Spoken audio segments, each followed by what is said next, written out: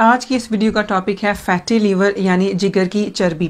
तो इस वीडियो में बात करेंगे कि फैटी लीवर क्यों होता है, इसके क्या अलामत हैं, किस तरह से ये हमें मुतासर करता है, इसके क्या कोई ट्रीटमेंट अवेलेबल हैं, और क्या इसकी होम रेमेडीज़ हैं जो हम अपना के अपने फैटी लीवर के प्रॉब्लम को कम कर सकते हैं। जब हमारे जिगर में चर्बी जमा होना शुरू हो जाती है और ये चर्बी एक हद से ज़्यादा बढ़ जाती है तो उस केस में फैटी लीवर की कंडीशन देखने में आती है। और जब ये चर्बी बहुत ज़्यादा बढ़ जाती है तो इसकी वजह से हमारे जो जिगर होता है, उसमें इन्फ्लेमेशन हो जाती है और आगे चल के, खुदा ना खास्ता, हमारा जिगर फेल भी हो सकता है।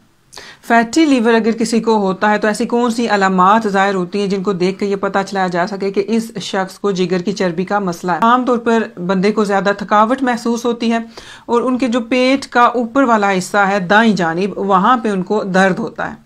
जिगर की चर्बी आखिर होती क्यों है? वो लोग जो बहुत ज़्यादा अल्कोहल का इस्तेमाल करते हैं, उनको फैटी लीवर का मसला हो सकता है, लेकिन वो लोग जो बिल्कुल अल्कोहल नहीं पीते, वो भी इस बीमारी का शिकार हो सकते हैं।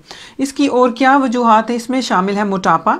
खून में शुगर का या फैट का लेवल अगर ज़्यादा होता है तो ये भी फैटी लीवर की वजूहत में शामिल है।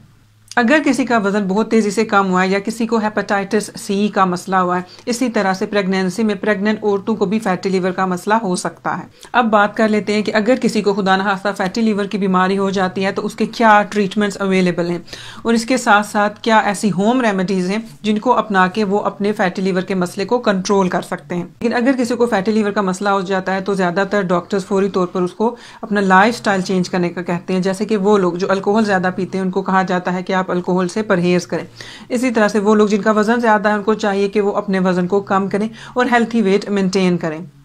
और ऐसी गज़ाएँ खाएँ जिनमें कैलोरीज सेचूरेटेड फैट और ट्रांस फैट कम मकदार में हो। इसके साथ साथ हर रोज 30 मिनट्स की एक्सरसाइज लाजमी करें। बाज़ात फैटी लीवर से बचाव के लिए या अगर किसी को फैटी लीवर की बीमारी हो जाती है तो उसके लीवर को डैमेज होने से बचाने के लिए वाइटामिन ई के सप्लीमेंट्स रेकमेंड किए जाते हैं। लेकिन यहाँ पे एक और बात जहन में रखने की ज़रूरत है कि अगर वाइटामिन ई ज़्यादा मकदार में ले लिया जाए तो यह आपकी सेहत के लिए बहुत ख़तरनाक हो सकता है। इसलिए अगर कोई भी सप्लीमेंट्स लेने के बारे में सोच रहा है तो वो अपने डॉक्टर से पहले ज़रूर मशवरा कर लें। ये वीडियो देखने का शुक्रिया। अपना ख्याल रखिएगा। अल्लाह हाफिज।